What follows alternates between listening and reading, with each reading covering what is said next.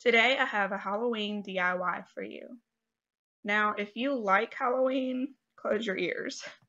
I have never liked Halloween. I like scary movies, so you'd think I would, but I've always seen Halloween and Thanksgiving as obstacles in my way of Christmas. I love Christmas. I've always made sure my kids had a fun Halloween. I've just never personally cared for it. But since starting this channel, I've been looking at some Halloween crafts and they look really fun. So maybe I'll turn a new Halloween leaf and start liking it. Today's DIY was really fun to make, so let's jump into it. For this DIY, you're going to need one of these dolls from the Dollar Tree. And you're also going to need some clay, either some air dry clay or oven baked clay. I know that Dollar Tree sometimes has some air dry clay, but it's usually a color. It's I've never seen white clay at the Dollar Tree. Um, so, but you can paint it once it's dry, so that would be no problem. It would probably just take a few coats. You'll also need some tools um, for molding the clay. And I didn't go out and buy any special tools. I had these Dollar Tree tools already, and they worked out fine. You're just going to cut off as much clay as you think you'll need to make the head the size that you want. At first I wanted the head to be oversized, just like the head on this doll is oversized compared to her body. I thought that would be good. Um, and you're going to need this, this um, um, oven baked clay. You have to knead it a whole lot. It's very stiff at first, but as you squeeze it in your hand, it's going to warm up and it's going to start softening and it's going to get moldable. I have never ever worked with clay before. The closest thing I've come to working with clay is playing Play-Doh with my kids and my nieces and nephews. So this project is definitely doable for anybody. I used a large ish paintbrush um, to use the end to make the eyeball sockets. I was going for like Nightmare Before Christmas, um, Jack Skellington. I was going for that, you know, for a character like him, but a girl. I had a hard time finding online what I was going for. Um, I searched um, girl skeleton um, or girl skeleton doll. And what I would come up with is like an actual skeleton looking girl. I wanted to be a little more humanoid, not like, you know, what a skull actually looks like. I mean, like Jack Skellington. But um, I did find what I was going for in just one place. There's an artist, and I will link her website down in the description box. She makes the most awesome primitive art. I mean, she's like a real artist. Me, with this project, I just fudged my way through the whole thing. But she's very talented, and I will leave the link to her website down in the description box.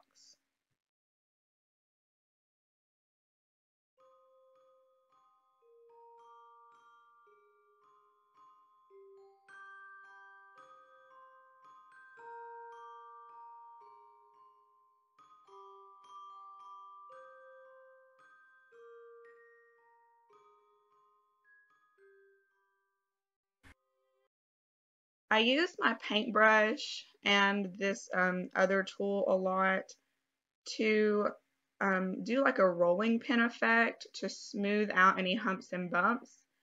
And then if I ever made a mistake, you can see that um, here all I did was kind of mark it out and then use my finger to smudge down and to blend the clay. It was very forgiving if you made mistakes.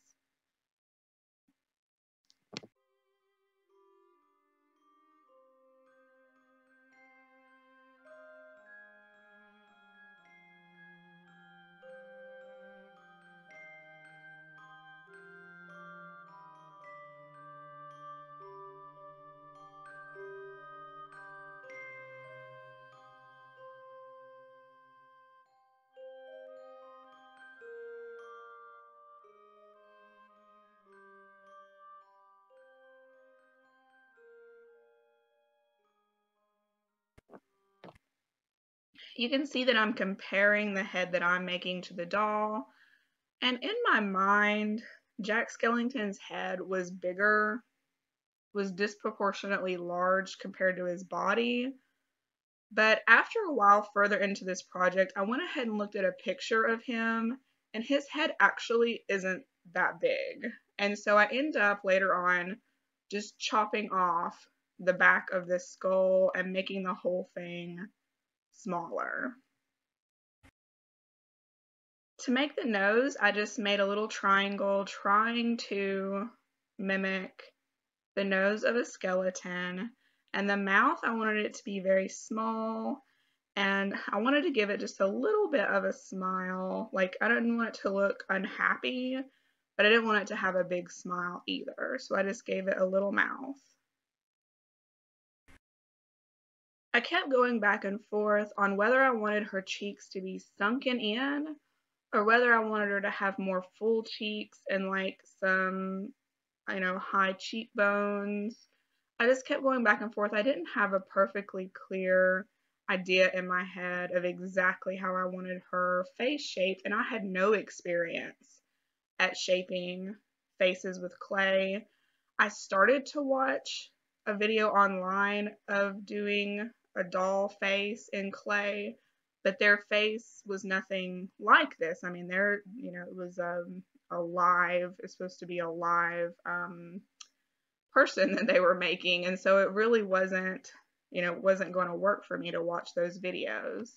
So I really am just winging it here.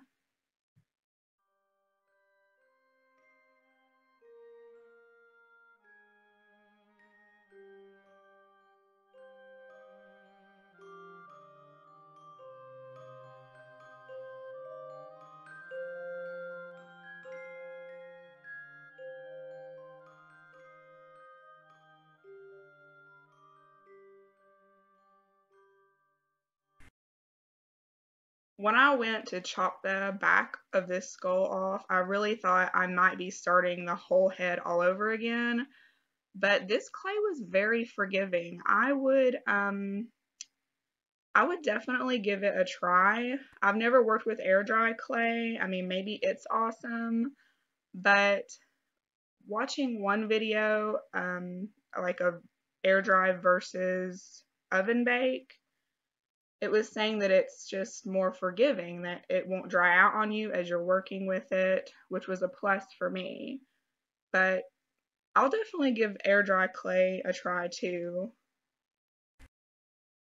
Once I got the face looking as close as possible to what I wanted, I went ahead and took the head off of the doll because we won't be using that head, of course. Um, and then I pushed it down onto the body to make the hole so that later I can glue and attach the head to the body.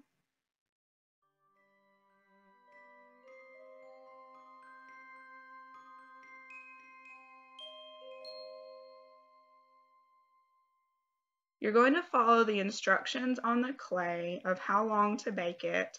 For mine, it was about an hour and a half.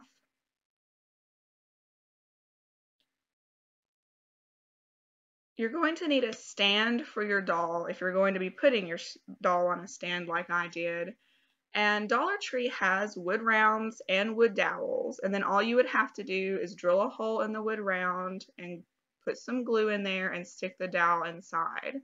But I already had this wood round and dowel already assembled. It came off of a wagon. It was the wheels of an old wagon.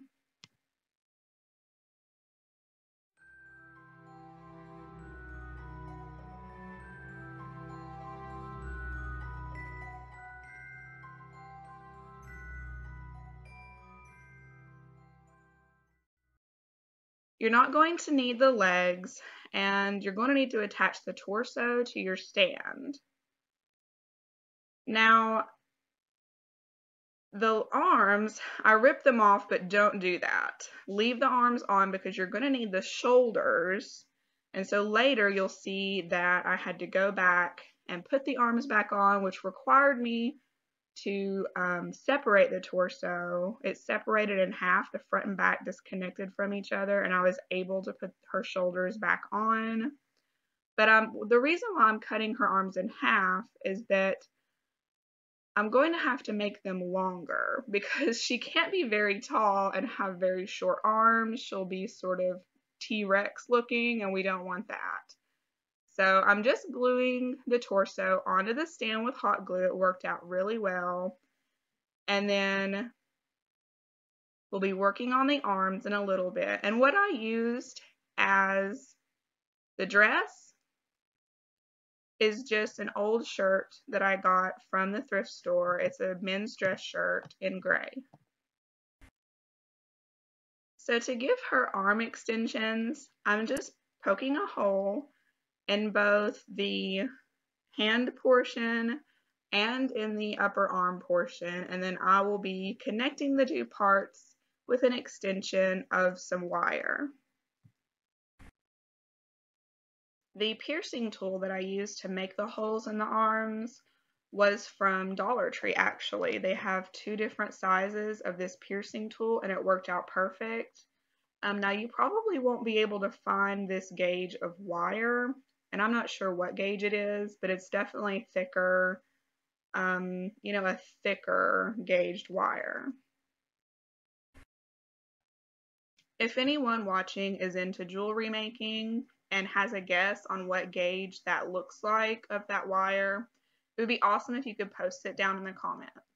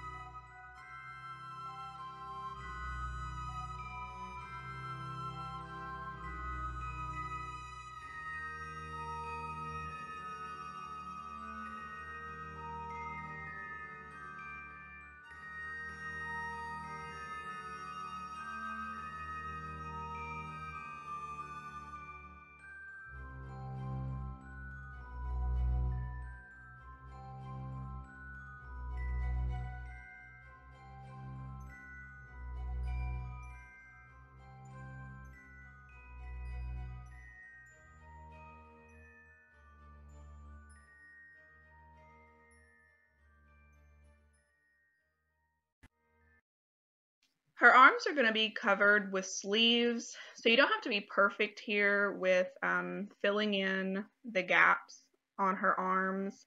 Masking tape worked perfectly, and you're just going to want to bulk up around the wire a little bit.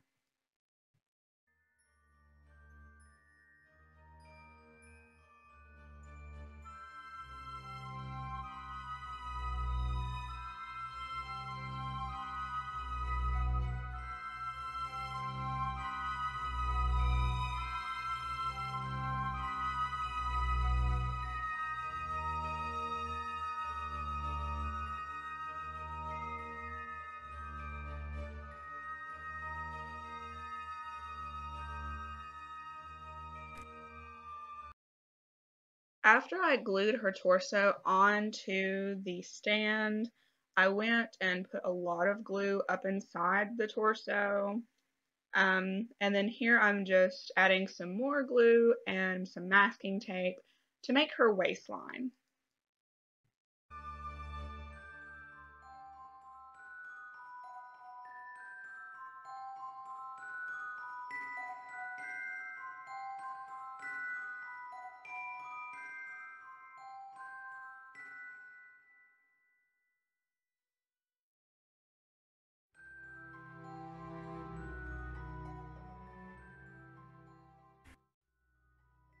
I'm just going to cut out a, a rectangle um, size to where I can wrap it around her torso.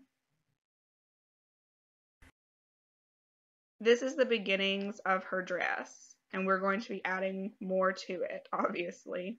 But if you are a seamstress, if you sew, you're really going to have an upper hand here.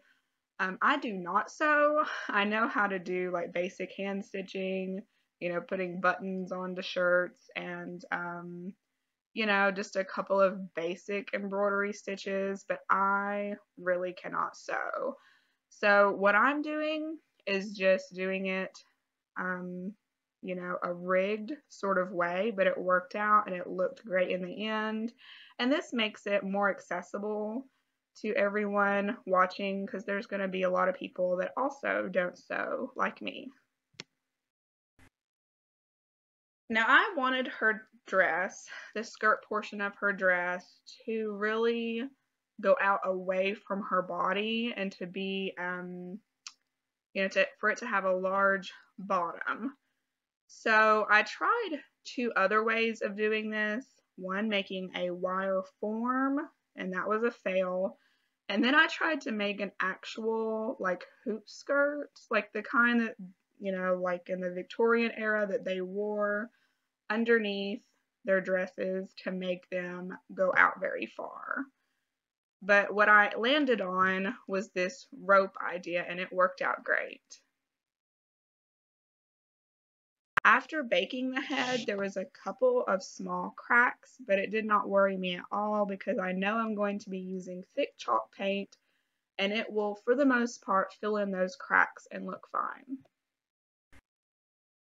You can see that to start out, I took a small section of the thick nautical rope that you get from Dollar Tree and I made a basic belt, and that's the beginning um, of our, our dress form here.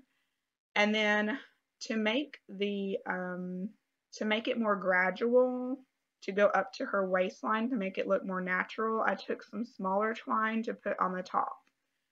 And now I'm just gluing the thick nautical rope around itself, just like you would if you're wrapping something, but I'm gluing it a little bit on the outside of the rope so that it's standing out and we're going to build on it and make, it's almost going to look like a ballerina um, tutu in the end, sticking out away from her.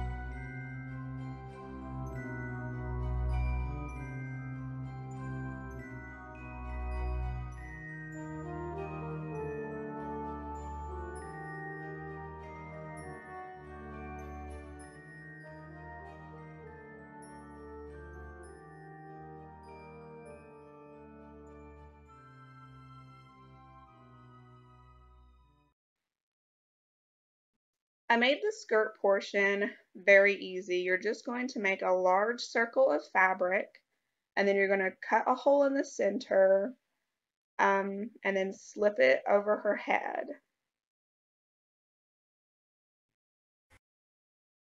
Then what you're going to do is take the excess on the sides, gather the excess on the sides with your hands, and then wrap it around the back and pinch it and then you will glue that down. This will make the shape of the skirt look better to where it looks less like a poodle skirt and it's also going to raise the back a little bit. I'm not sure what that's called. If anyone knows um, in the in the in the comments below, let us know. But where there's a rise on the back, like you know where the butt is, there's a rise and then it um, sticks out further away from the body than it does in the front.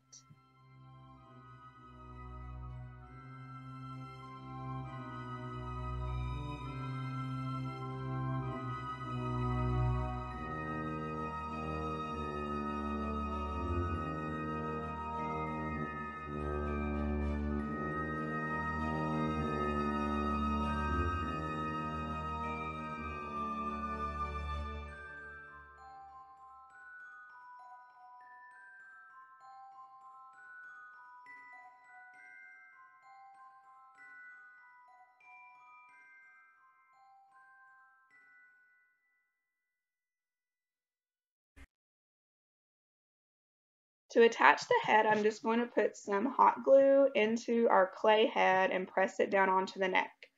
Now, I think the clay shrunk up just a little bit because I pressed really hard on this and it would not go all the way down. So it might have shrunk up a little bit. So you might want to make the hole in the head a little bit larger, maybe wiggle it around a little bit whenever you put it down on there to make it just a little bit bigger, but don't make it too big or the head, you know, is going to be easy for it to fall off. To make the sleeves, I'm literally just cutting rectangles to size, wrapping and gluing the sleeves onto her. It couldn't be easier.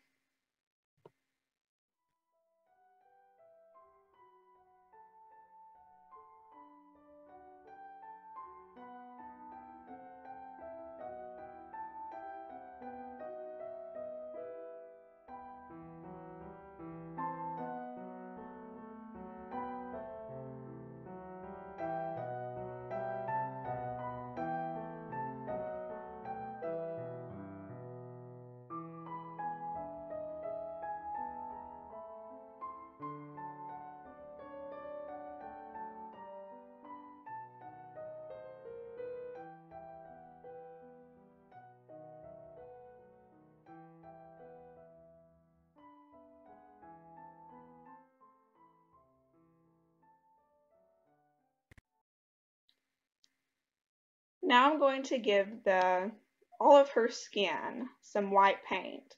The head didn't take as many coats as the um, shoulders and hands did, but you're just trying to color match to bring it all together, um, her head and the rest of the skin showing. I'm using Waverly Plaster chalk paint. Now, to trim out the dress and to cover up all the ugly, we are going to use this ribbon from Dollar Tree. And the belt, I want it to be skinnier than the portion on her wrapping around her shoulders. And so I'm just trimming this ribbon down and then I'm just going to glue it to her dress. And then I will do the same process to cover her shoulders. I try to buy as much as many things as I can um, from the Dollar Tree, and whenever I don't, in the description box, I always put a supply list, and I always try to give alternative items that are from the Dollar Tree.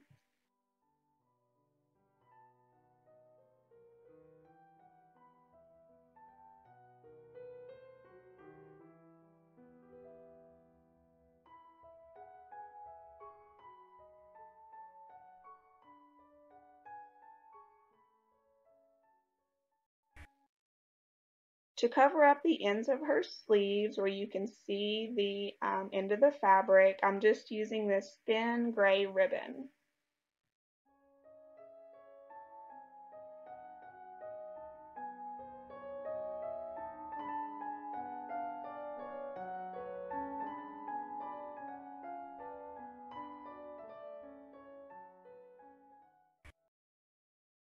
You can paint your skeleton girl any way you like.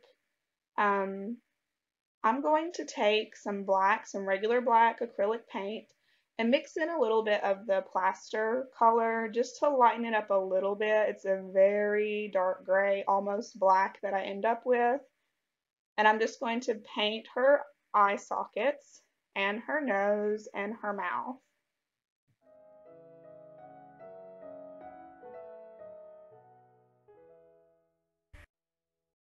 To draw the stitching on her mouth, I did not have a paintbrush small enough. It needed to be very tiny, so I'm just using a toothpick to draw that detail.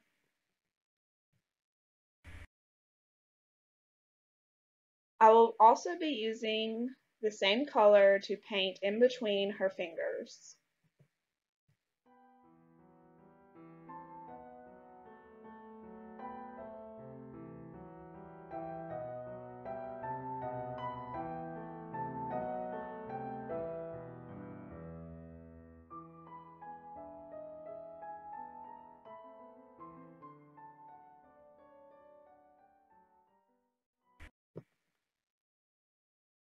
You can use any color you'd like to make her eyes.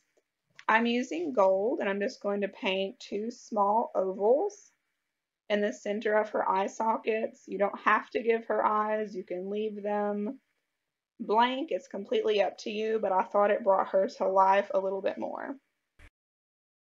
And she needs all the help she can get in that department. To give a little more dimension and character, I grunged up around her eyes a little bit and just did a little bit of distressing with a very dry brush to put some grunginess onto her face. I'm just showing this picture of her next to a um, ruler, so she's not quite a foot tall.